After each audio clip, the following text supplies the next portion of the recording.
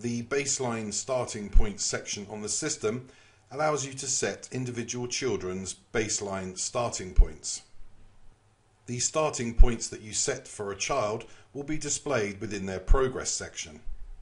A child's progress section can be seen by placing your mouse over the progress icon at the top of the page and clicking on Progress Learning Journal. When you arrive on this page, you will see a list of the children on the system. To view an individual child's progress, click on the View icon and select the area of learning that you would like to view. To view CL, for example, click on the View CL button. On this page, you'll be taken to the area of learning that you selected. In this example, CL Communication and Language. To switch to the different aspects of the area of learning, simply click on the selected tab. For example, Understanding, and speaking. To switch areas of learning, simply click on the area of learning that you would like to jump to.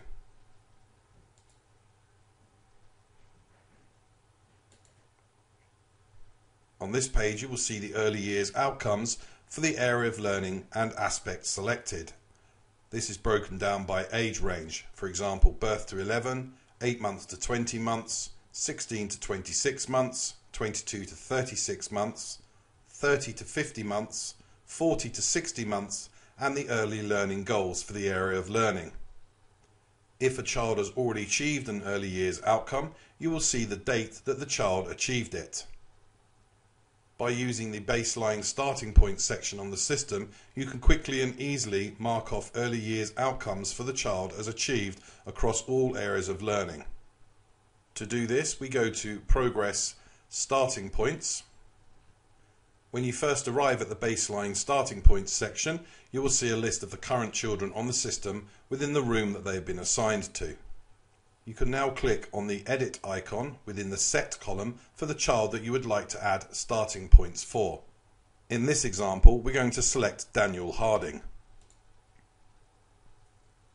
You will now be taken to the baseline starting points section for Daniel Harding. At the top of this section you will see the areas of learning, communication and language, all the way across to understanding the world. Clicking on any of these tabs will instantly take you to that area of learning. Beneath this you will see the first aspect within communication and language, for example listening and attention. Beneath this you will see the early years outcomes within the age range that they are assigned to. Here we see birth to 11 months, 8 to 20 months, and so on, all the way through to the early learning goals. You will then see the second aspect within the area of learning, understanding, and then the outcomes within the age ranges. And then you will see the final aspect, speaking, along with the outcomes within the age ranges, all the way through to 40 to 60 months, and finally the early learning goals we now scroll back up to the top of the page, you will see the development status for the current age range.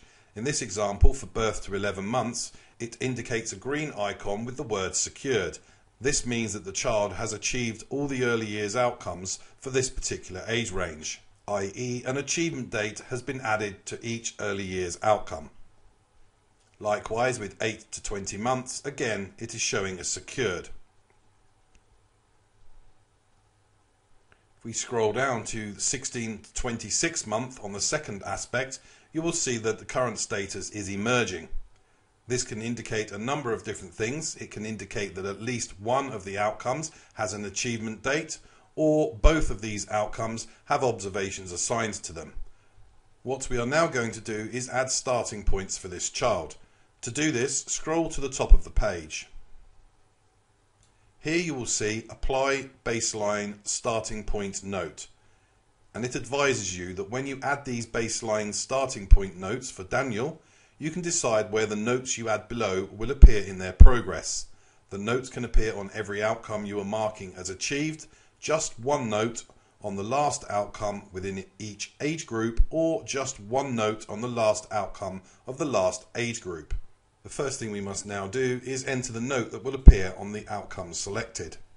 This can be any information related to the starting point or baseline for the child. We will now proceed to select the outcomes that we would like to add an achievement date for.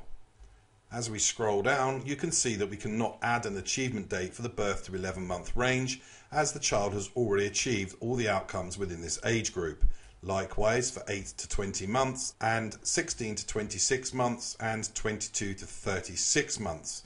You will notice now for 30 months to 50 months we have the option to select a date. We can now click inside the box and select the date that we would like to add.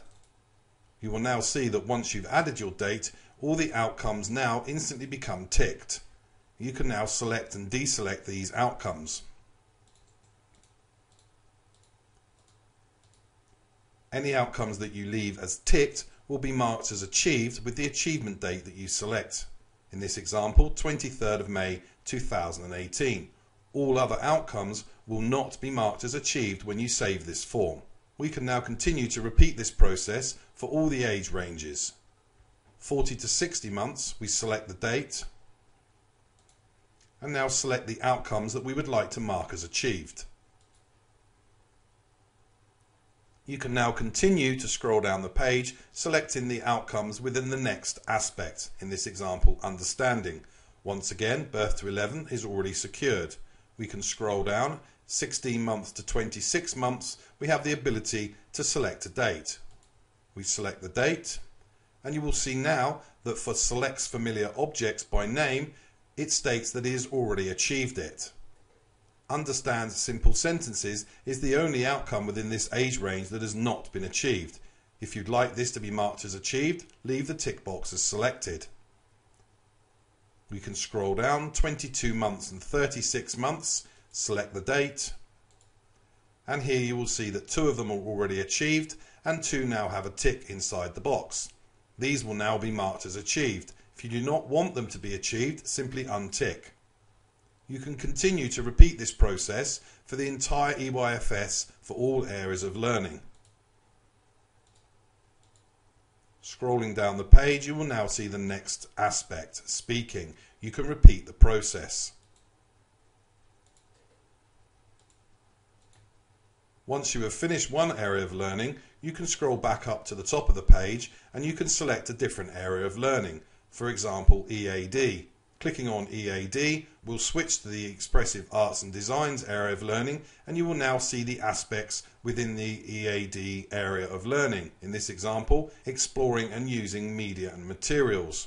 Once again, you repeat the same process as before, selecting a date and then ticking and unticking the outcomes that you would like to mark as achieved. Repeat this process for each area of learning. LT, scroll down add a date, and tick and untick the outcomes that you would like to mark as achieved.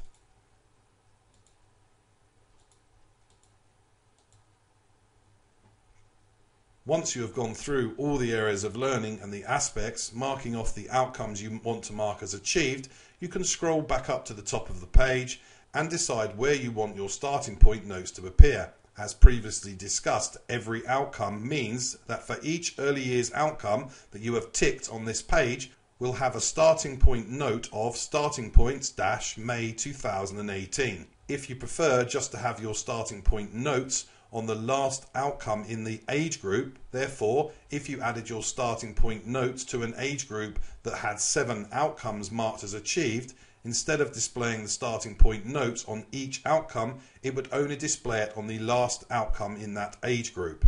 And finally, the last option is last outcome on the last age group.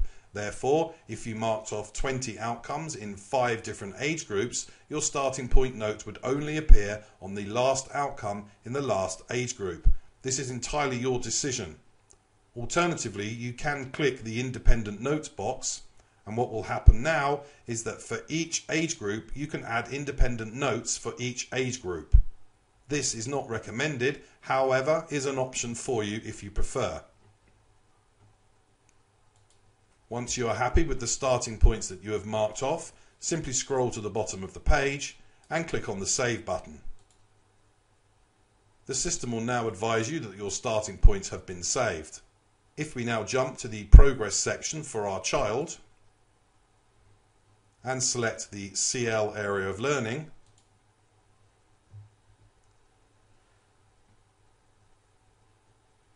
And scroll down for an example, 30 months to 50 months, and click on the Show Observation button. You will see here that we have starting point 23rd of May 2018 with our starting points note that we added starting points May 2018 for all the outcomes that we ticked you will see there is an achievement date of the date that you selected the 23rd of May 2018 if you have made a mistake when adding your starting points, you cannot go back to the starting point section and undo your changes. Any mistakes you've made must be rectified directly within this progress section. For example, if you add an achievement date onto an outcome that is incorrect, you can delete it directly from this section. To delete an achievement date for an outcome, simply select the delete button alongside the date. If you would like to delete your starting point notes, select the delete icon to the right hand side. The achievement date and the starting point notes have now been removed from that outcome. You can return to the starting points baseline section at any time and repeat that process to add additional outcomes.